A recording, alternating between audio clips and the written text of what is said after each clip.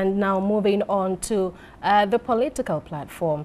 The NPP parliamentary candidate for the Krachi West constituency, Kenneth Bisse Bajisan uh, has been sacked by the party. Constituency uh, chairman for the party uh, who confirmed the news to TV3 said the constituency uh, received a letter from the regional chairman of the party, John Peter Amewu, on the action, but the letter did not state any reasons.